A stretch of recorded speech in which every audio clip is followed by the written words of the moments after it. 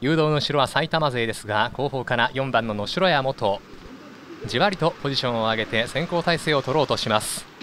4番の野城屋のラインの後ろ7番の小坂もこれに合わせてさあ先行体制を取っていく4番の城屋内は5番の丸山直樹バックストレッチ。さあ踏んでもう一度5番の丸山主導権譲りません。9番の岩橋紀明依然埼玉勢が前段その外ほぼ並走は4番の野城屋1番の鈴木真二です。